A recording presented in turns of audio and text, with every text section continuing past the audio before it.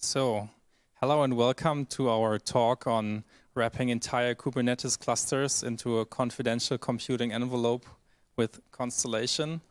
Uh, just, just a quick question. Um, please raise your hands. Have you ever heard of confidential computing before? Okay, just, just a few. And are you already using confidential computing or are you planning on using this? Okay. Well, this is great because we will start with an introduction on what confidential computing actually is.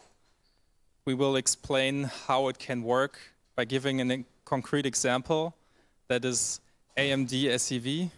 And then we will explain how Constellation works, which is our Kubernetes distribution that uses different confidential computing technologies to provide you with a full Kubernetes cluster that runs on confidential computing hardware. So with that, I will hand it over to Paul.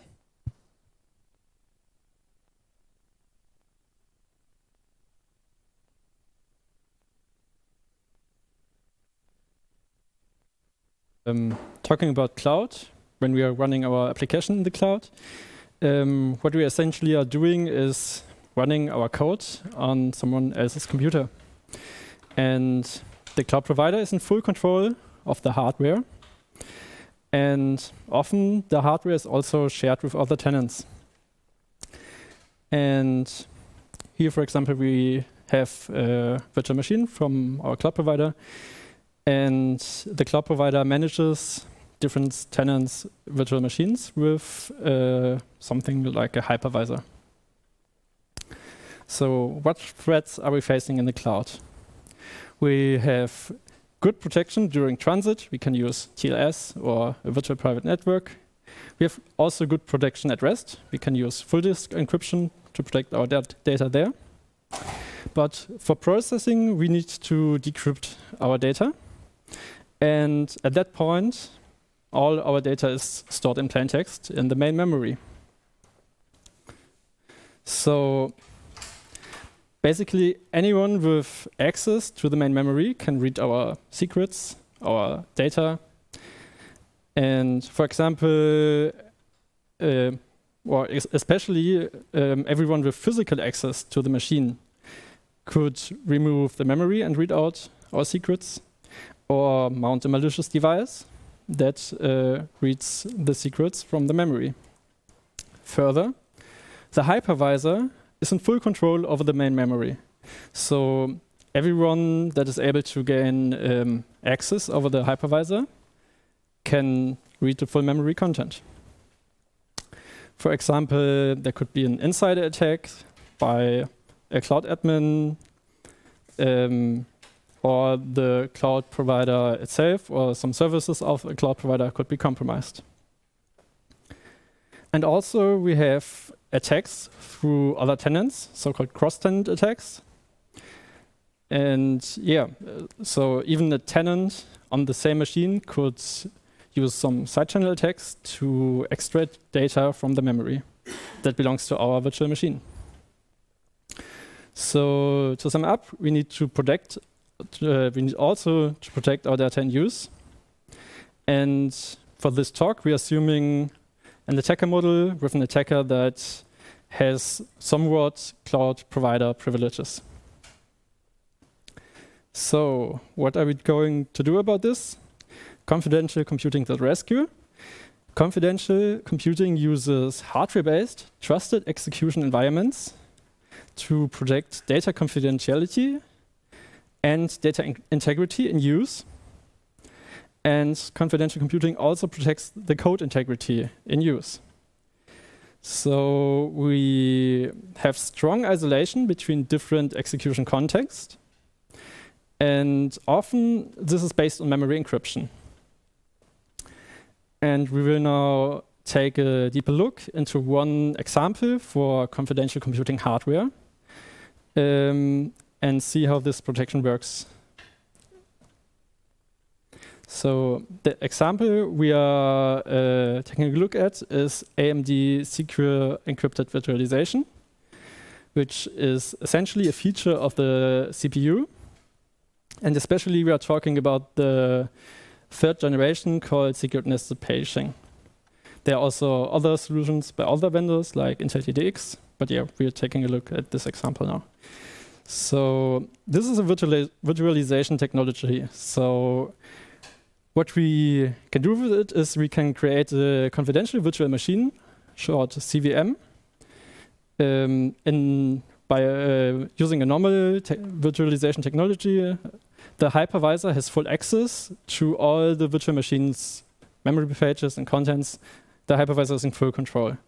But with, with confidential memory, uh, with confidential virtual machines, um, the virtual machine is protected against the hypervisor and also against other machines on the same host. So basically, we only have to trust our confidential virtual machine and the CPU, and these together form the trusted computing base. And we can do this by using the provided transparent memory encryption uh, of AMD SEV. So how does the memory encryption work? We have on the chip, as part of the CPU, a secure processor, which is a microcontroller. And this secure processor is also trusted. Like I said, the CPU is trusted. And within the processor, each confidential virtual machine has a separate key. These keys are inaccessible by software. And all memory pages of CVMs are encrypted in memory. So when the CPU loads a page from uh, the main memory, the page is decrypted with the CVM's uh, key. And when the page is stored again, the page is encrypted and the secure processor um, tracks the page ownership of the memory pages and decides which keys to use. So with this mechanism, we uh, essentially pr protect our memory from the hypervisor and from other tenants virtual machines. So, are we done yet?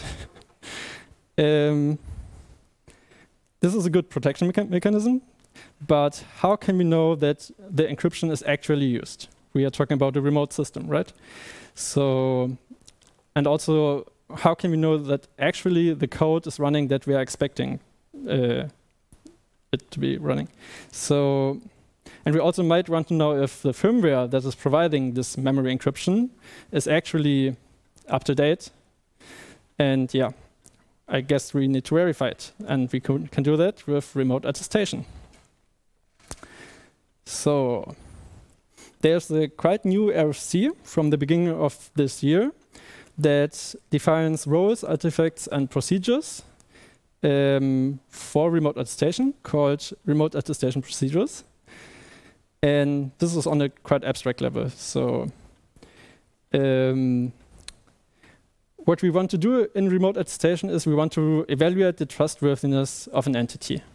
And especially here, the relying party um, wants to evaluate the trustworthiness of an attester. And the attester generates some form of evidence to prove its trustworthiness. And the evidence is generated through some form of measurements from what's actually there.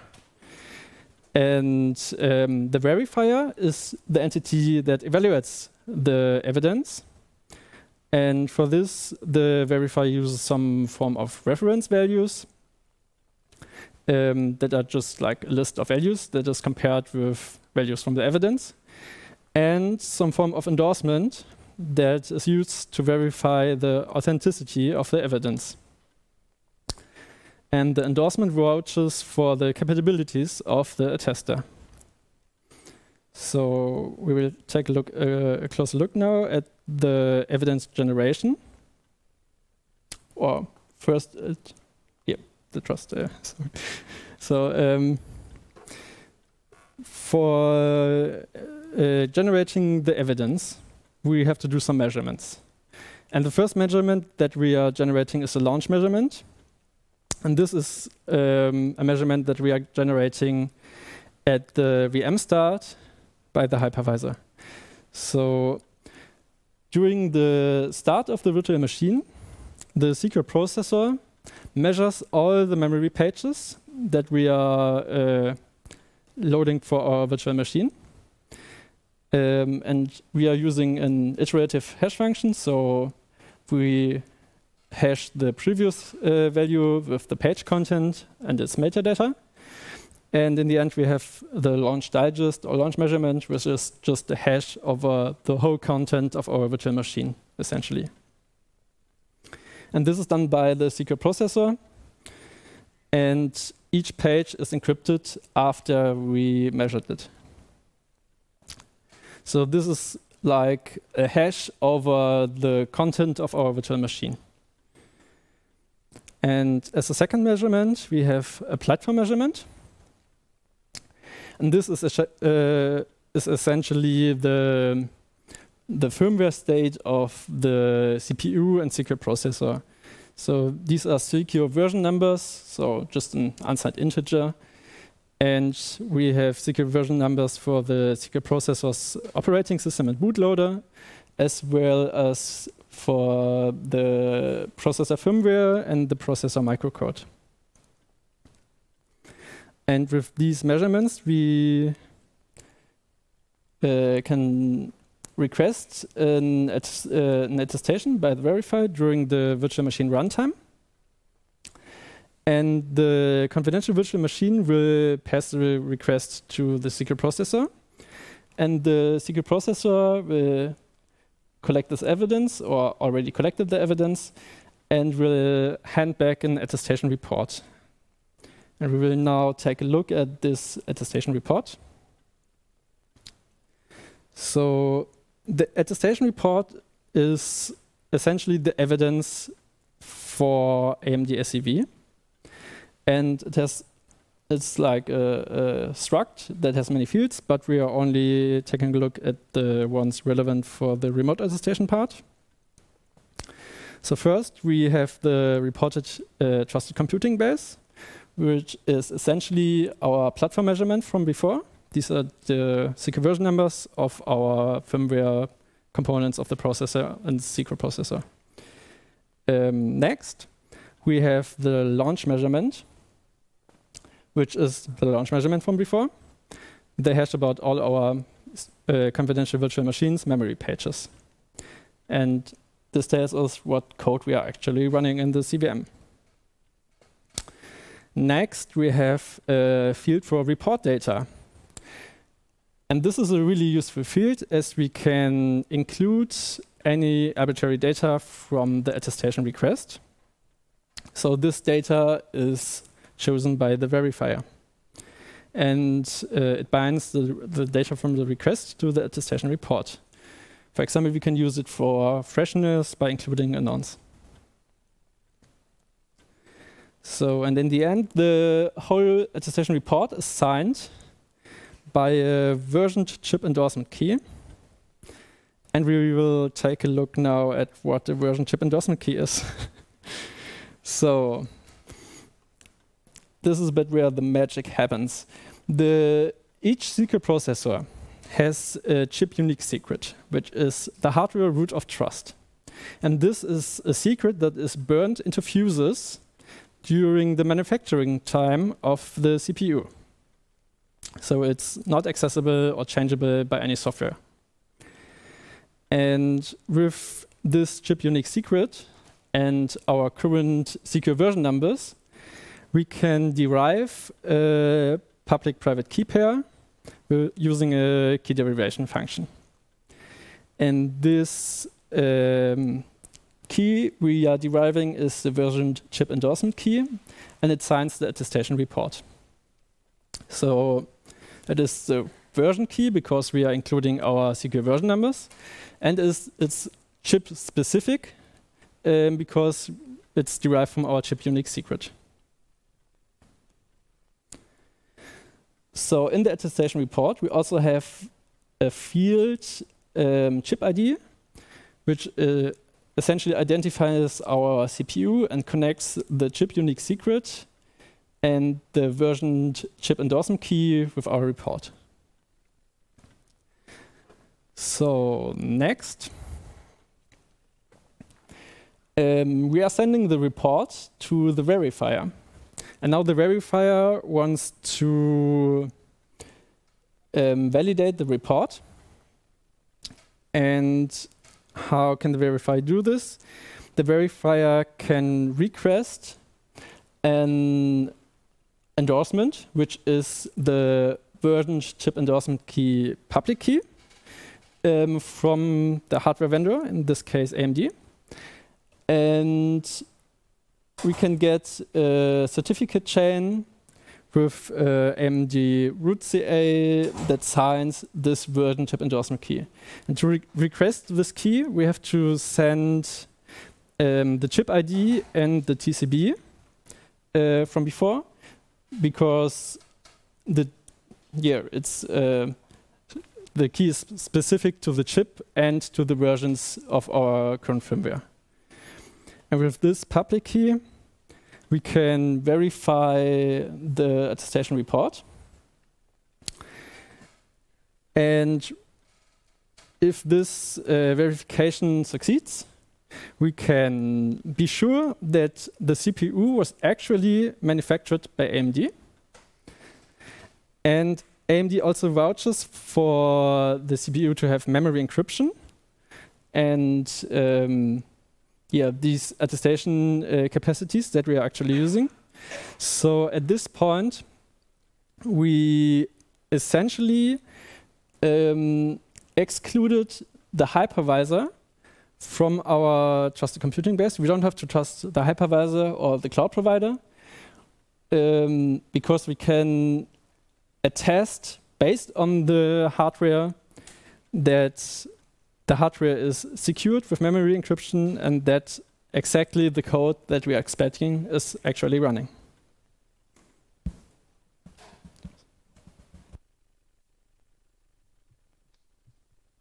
All right, so now we will take a, a step back and just think about what we actually want to achieve. So, so what we want to achieve in the end is to have a Kubernetes cluster where each node of the cluster is a confidential virtual machine. And we want to, to, to, go from a single confidential virtual machine to a whole cluster of virtual machines that somehow, but, but somehow we want to be able to still have a way to establish trust as, as the administrator of the cluster. And ju just a quick reminder, this, this works, there, there's different technologies. We will only talk about one. And there's also different ways to, to achieve what we are doing here. And this is the way uh, we have chosen for this platform. So how do we get here? Uh, before we can understand how we can have a whole cluster, we have to look at the life cycle of a, of a single node. And we will look at how the node boots, and how we can actually confirm what software is running inside of it. So just a, a quick recap about measured boot. Uh, in case you have never heard of this term, the idea is that you get an understanding about the software and the firmware that is running on a computer. And you do this by basically taking a measurement at every step of the boot process and as long as this measurement is immutable afterwards, the later stages cannot lie about what happened before. So if you have trust in the first boot stage, and the first boot stage takes a measurement of the second boot stage, and you do this for every step, then you, at the end you can trust all of the software that is running in the system. And usually you do this with a Trusted platform module or TPM, and this is just um, an extra piece of uh, an extra module that you have on your computer. It's not part of the CPU normally. And this, this trusted platform module, it has a lot of different functions, but the most important one is that it has a set of registers. Uh, these are called platform configuration registers. But you can only interact with them in a certain way. You cannot just write into them, but you can read them, and you can also extend them. And you do this using this function basically. So when you start your computer with a TPM, every register will be nulled. So there will be only nulls in all the registers. And when you extend data into the TPM, you choose one of the registers. And the TPM will create a hash over the existing value that is stored in the register and appends your data to it and then hashes this. And this is the new PCR value. And what this means is you cannot lie about what has been measured before because this hash will also be included in the next hash value. And only using this method, you can create a measured boot chain. Um, this, this, is the measured boot chain you would have on a normal computer. Um, you have the firmware, which uh, it depends, but uh, let's just assume it is immutable. It is stored in, a, in ROM, and this is what, what first starts, what has the uh, execution, and it will load the next stage, in this case the bootloader. It will create a hash over the bootloader. It will extend this into a PCR, and only then will it start executing the bootloader. And then the bootloader does the same thing. It will load the next component into memory. It will create a hash, and it will measure this into the TPM.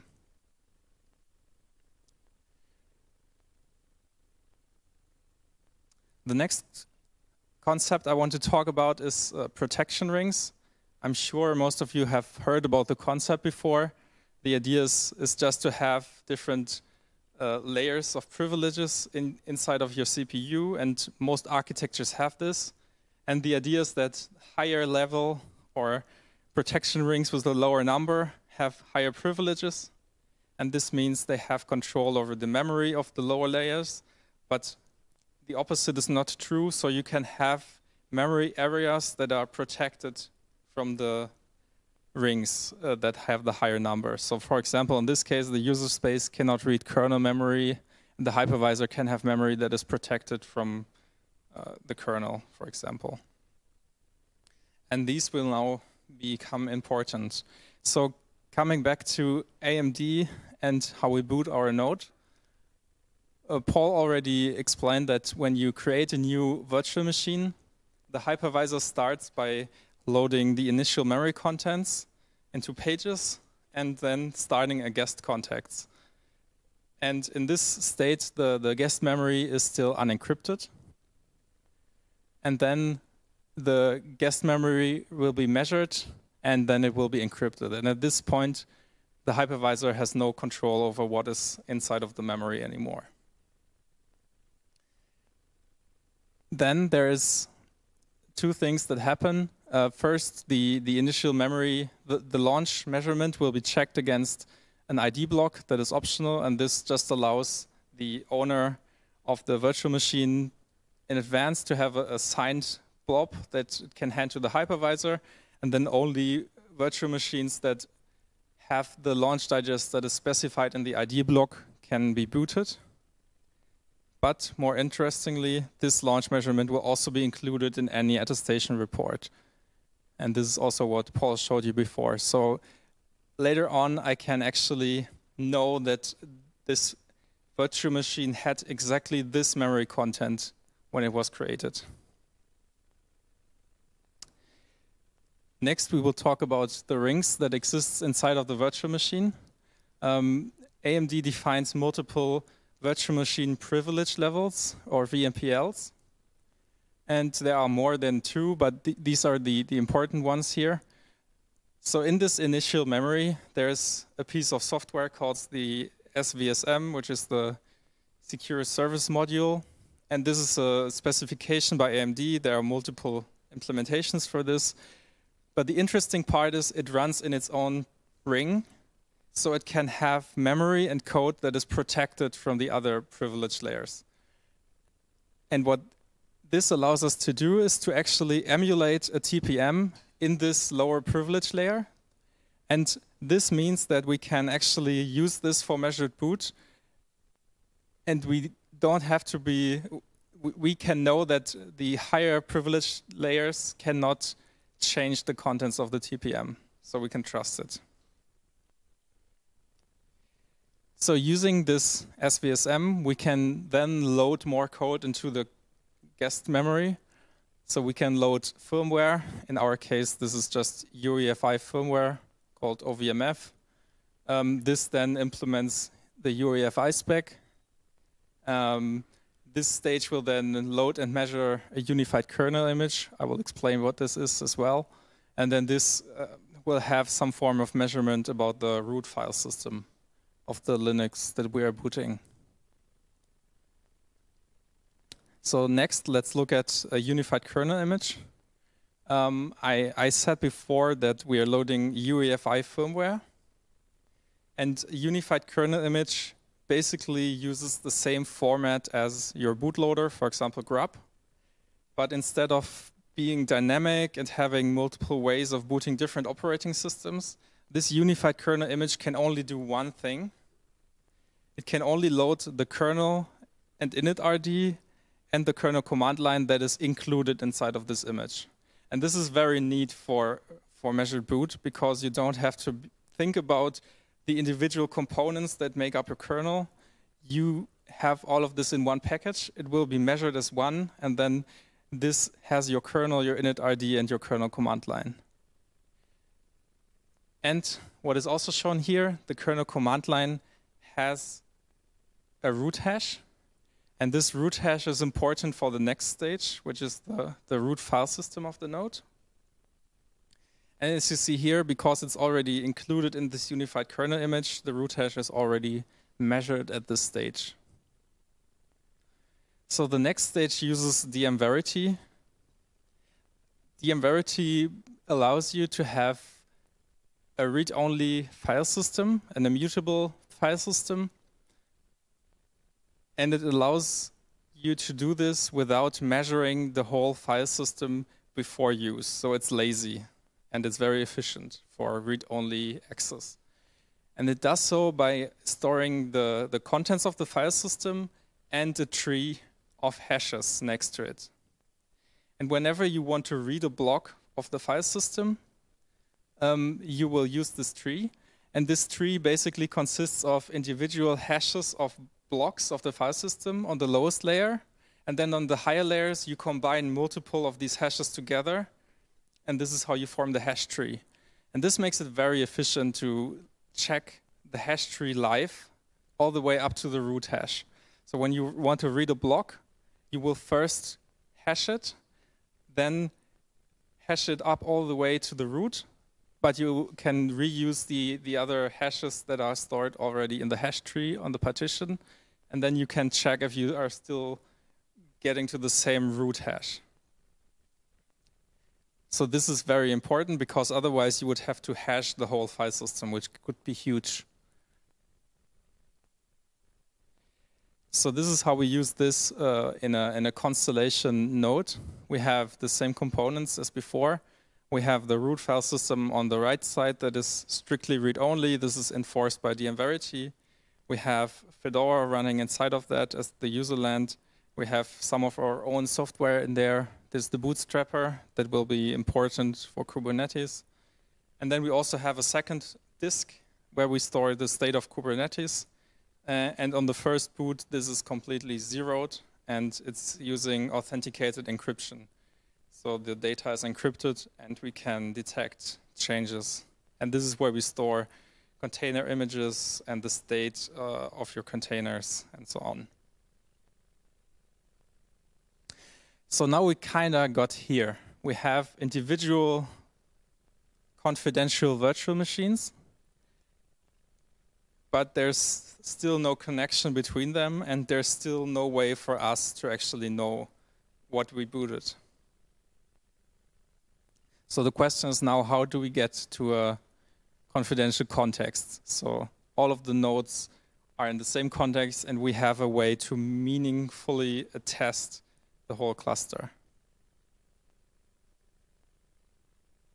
And this is how we do it. Uh, the basic idea is when you first provision your infrastructure, you don't have a Kubernetes cluster yet you only have individual nodes that perform this, this boot process I showed you before. And basically, all of the nodes are waiting to be initialized, or at least one node needs to be initialized by us. So we as the administrator or DevOps engineer um, create a connection to the first node that we want to initialize. And we use an attested TLS handshake. Um, and what this does is it performs remote attestation and it will then create a TLS connection, but only if the attestation works.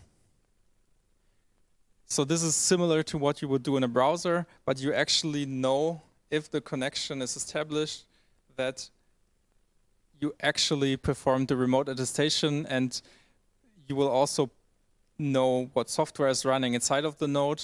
You will know that this is running inside of a confidential virtual machine with the specification that you provide in your config. And you will also know exactly what software is running and you know that you are the first and only person to initialize this node. So after this ATL ATLS handshake succeeds, you have a secure connection, and over this connection, you send some configuration data to the first node. It will bootstrap Kubernetes inside of there, and it will give you back the configuration file that you need to access the cluster. So let's zoom in a little bit to the attested TLS handshake. Uh, I don't want to get into too much detail on how TLS works, but ATLS is just a little extension to how this works. And the interesting part is in the first message, we send over a nonce. And then in the response from, from the confidential virtual machine, we get back an attestation statement. And this can be verified by us on the client side. And only if this verification is successful, we will continue with the, with the handshake. And how do we actually verify this? This is similar to what Paul showed you before, but we have now two components. We have the actual attestation report. This is signed by the VCEK that Paul showed you. But more importantly, the report data of this attestation report contains a public key. And this is generated inside of this uh, VMPL0 in the SVSM that has the virtual TPM. And this is how we uh, get a connection between the SEV attestation report and the virtual TPM. And we use this public key to then check the signature of a VTPM quote. And a, VT, uh, a TPM quote is just a mechanism that a TPM uses to show the state of the TPM and it's signed so you can trust it. So you can check that it's actually from the correct TPM. So after checking the SEV attestation report, we get this key, the attestation key. We can check that the VTPM quote is correctly signed and then we actually get the contents of the PCRs at the time that we asked for the attestation report. And most importantly, we also get the nonce that we sent over during the ATLS handshake. So now, using the PCRs, we can actually know that the measured boot did exactly what we, uh, what we wanted it to do. And we also got back our nonce, so we can, we can check uh, that this was actually performed live as we asked for the data, and it's not an old quote. And what will also happen is after the first ATLS handshake, we will actually extend a value into one of the PCRs, and this just prevents uh, the node from being initialized twice, because after that, if you ask for a new quote, it will always have this um, PCR extended. So this is how we get the, the first node, and this is how we get a Kubernetes cluster. Now let's talk about actually scaling this up into a full Kubernetes cluster. And what you see here is uh, the new node is on the left side, and on the right side you have the existing cluster. And inside of this cluster we have a microservice that is doing the whole uh, ATLS handshake for us. And this time we do an ATLS handshake in both directions. So the newly joining node will prove that it is running the same software as the rest of the cluster, that is also running in a CVM, will prove that it's fresh, that it was not, not initialized before. And also the existing cluster will prove towards the new node that it's also running in a CVM and that it is running all of the correct software. And only if, if this handshake succeeds, um, will you actually be allowed to join the cluster by being handed uh, a join token. So this is just how this looks on a on the layer deeper um, you have a nonce going one way, you have the attestation go statement going back, then you have a second nonce, and then you have also have a second attestation statement going back. And as you can see, you have a attestation verification happening on both sides. So this is how we get to this state. We perform remote attestation on the first node, and we know that the first node will perform the same remote attestation with the rest of the cluster. And this is how we know that every node is actually running the software in the state that we configured. And also because we got uh, TLS certificate and secret key during the initialization, we can now connect to the Kubernetes cluster in a secure way and know that it's actually the cluster that we initialized. So just, just a quick reminder, Constellation is, open source. It's on GitHub. It's very easy to use. Um, you, can, you can try it out by just creating a configuration file, by then creating the infrastructure, and the init will then perform the remote attestation that I showed you. And after that, you have a normal Kubernetes um, configuration file that you can use with all of your existing tooling. So please check it out on GitHub. Uh, we, we run on all of the major clouds, so AWS, uh, Azure, GCP, OpenStack. Uh, we have support for AMD SEV. Uh, we also will soon have support for Intel TDX. And you can also try it out on your laptop locally. This is called uh, Mini Constellation. It will, it will not use confidential computing, but it's a great way to just see how it feels and see that the UX is just the way you would expect it to be. So with that, uh, I think we are ready for questions.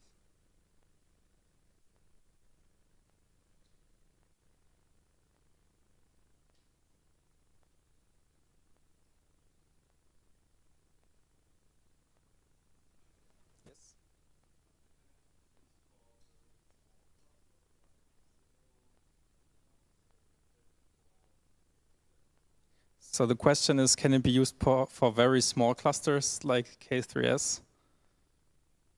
Okay, um, I would say it can be. Um, one, you can you can basically create a cluster that is only one node if you want to. Um, one thing is that we, require you to to use a supported cloud provider, so we do not support bare metal provisioning at this point. This is just what allows us to do things like auto-scaling.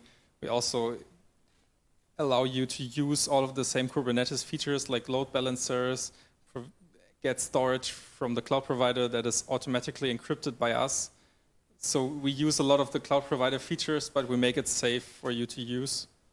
Yeah. But creating a small cluster is, is perfectly possible. And using OpenStack, you could even uh, host it on your own infrastructure.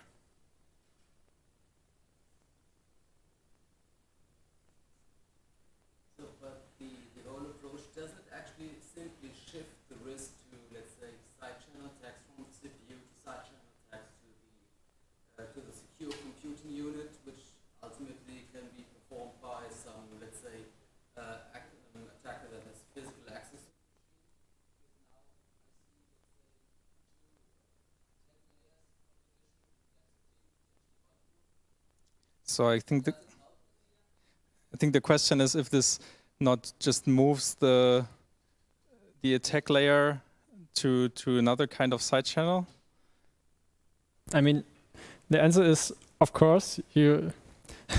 there are still side channels that aren't covered by this technology, but you have a huge decreasement in trusted computing base. So there are so many attacks that you uh, prevent with this and I think it's it's a step in the right direction. So yeah, like I said, with without this, you are just like leaving your your secrets like laying around somewhere here, you know. And with this, okay, you put your secrets in the safe, and of course, someone could still like come with special equipment and break it up and steal your secrets, but the protection level is much higher. And many of the side channel attacks that you could like mount against the secure processor required something like a lab environment, or you have to like uh, open the, the processor and I don't know, use some special laser to to to to do some attacks or so. So yeah, I think it's it's a huge improvement for the public cloud. So.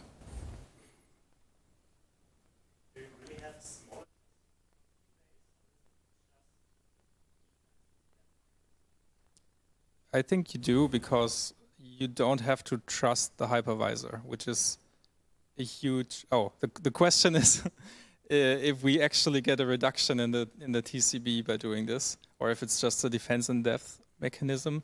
Uh, I think quite clearly we we do reduce the the trusted uh, computing base because before you have the whole host operating system that is part of the trusted TCB. You have attacks where someone just freezes and steals your RAM module. you have things like that. And now, of course, the CPU could have a, a vulnerability in the microcode or something like that. But this is also something that you have to care about before confidential computing. So I think it is a clear reduction.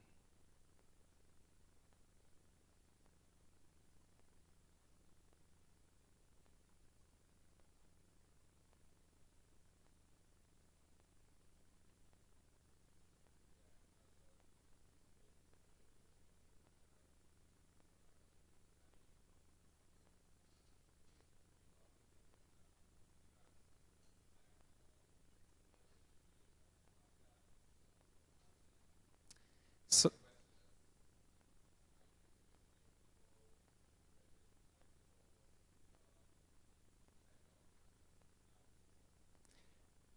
so to repeat the question, uh, what kind of business model do we see for this and what would people use this for? Um, basically, we hear from a lot of people that they would like to move workloads into the cloud, but either they they don't trust it or they're not allowed to. And with this, you actually are able to move into the cloud or move away from your own data center, but you don't lose all of the control.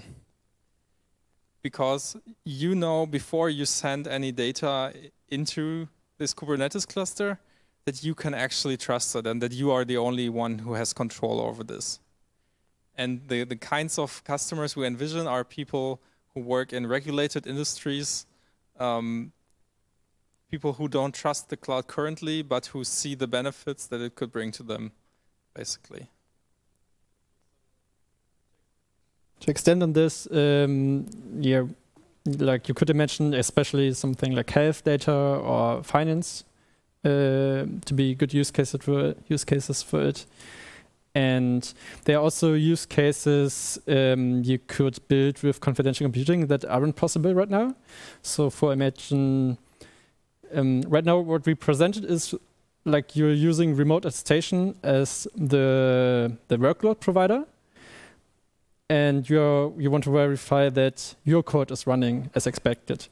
But you could also, in addition, hand um, attestation statements to your customers. So like the data owner.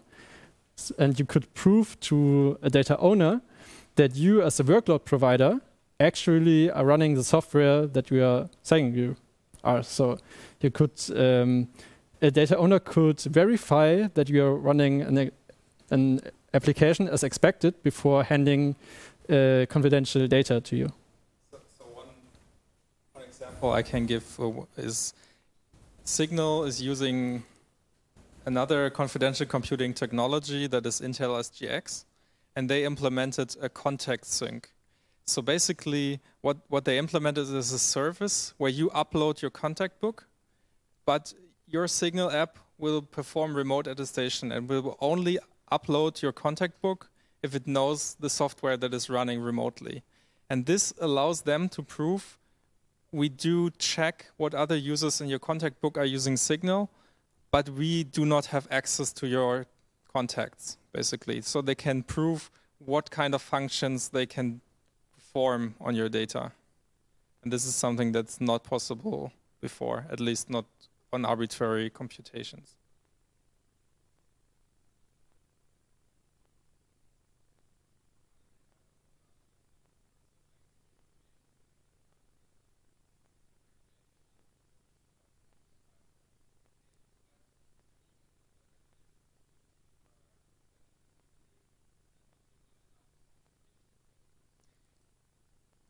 So the question is, if we have certification for this, um, I think the, the answer is, is twofold. The one question is if, if Constellation has the kind of certification, and the other question is um, if the, the users um, actually are allowed or are, are, have to use something like Constellation. Uh, so, so I think the, the second question is actually a bit more interesting. There, there's some things happening, um, for example, with the, the BSI Grundschutz, that, that we may get to a point where government may be allowed to move data into the cloud if they are using something with con confidential computing where they can prove that the cloud provider doesn't have access. This is not the case yet, but it's something that we hope could shift.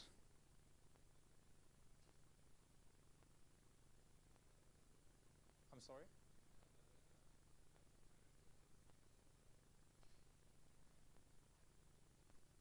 I mean, the, I think the same thing applies that, that we would like some of the regulation to move in this direction. Um, financial industries, for example, they have they are often allowed to, to already move into the cloud. And for them, it's often a question of if they themselves trust the cloud provider. So in this case, it would actually be a bit simpler to apply this.